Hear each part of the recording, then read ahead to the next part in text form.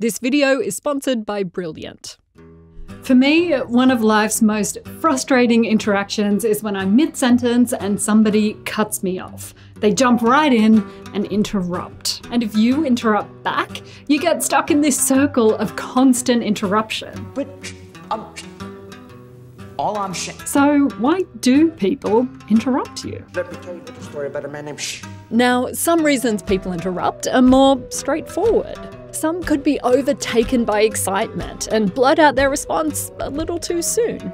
Other people can interrupt as a power move to seem more influential, and as a result, the people that they cut off are rated as less influential. If this happens to you, just keep talking.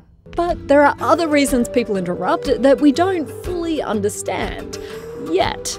The thing is, conversations are really complicated because our brain has to time this precise back and forth with others. In a normal conversation, we take one fifth of a second to reply, which is like half a blink. Any shorter than that, and you're interrupting, any longer, and there's an awkward pause. so, to better understand what brain magic goes into a conversation and where it can go wrong, researchers have turned to mice. Not just any rodent, but singing mice native to the Costa Rican cloud forest. They perform long and complex high speed songs that mimic the pace and back and forth of human conversation. Even though you might look at that little guy and think, he looks just like my coworker who always interrupts me. Turns out they're actually pros at taking turns when they sing. They're very polite mice. Somehow, they can coordinate their back and forth conversation with split second precision, just like humans. Theoretically. In a new study with the mice, researchers identified an area of the brain called the OMC that kinda acts like an orchestra conductor. It coordinates this back and forth precision of their communication. So I know when it's your turn, you go, and when it's my turn, I, with almost no delay, can snap in and take my place. So when researchers stimulated the OMC, the mouse flexed its vocal muscles. And then, when they slowed down the area's activity by mildly cooling it, the mouse took longer to reach the end of its song. Then, when the area was inactivated by a drug, the mice could still sing, but they sang over each other. You could say they interrupted. And now, we're trying to find out where is it in people where there's a kind of spark that allows for conversational exchanges to be planned and then quickly executed in the same way as these mice.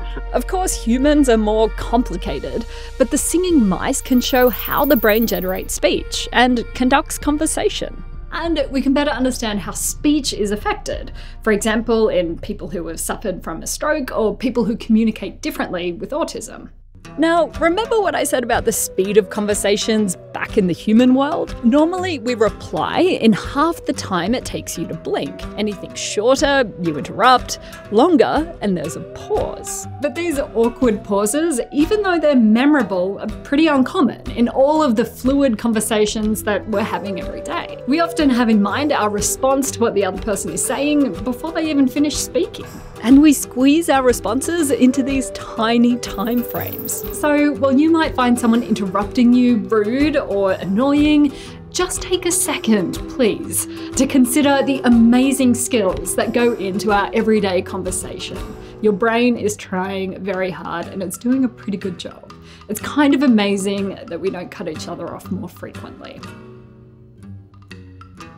Was that an awkward pause? now, if you want to learn interruption free, take advantage of the new offline mode from brilliant.org. They're the sponsor of today's video.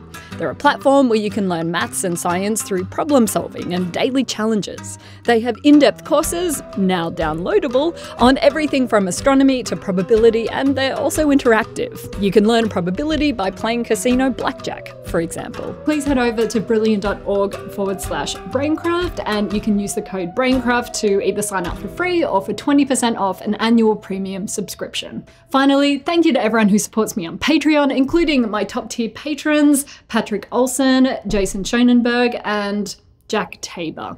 Bye.